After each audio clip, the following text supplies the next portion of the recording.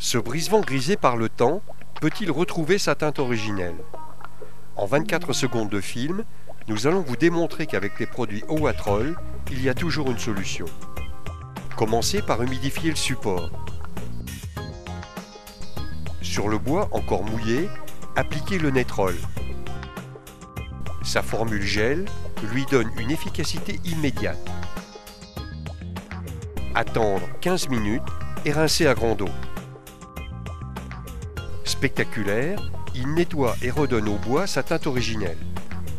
Votre brise-vent est net, dégrisé et retrouve sa jeunesse.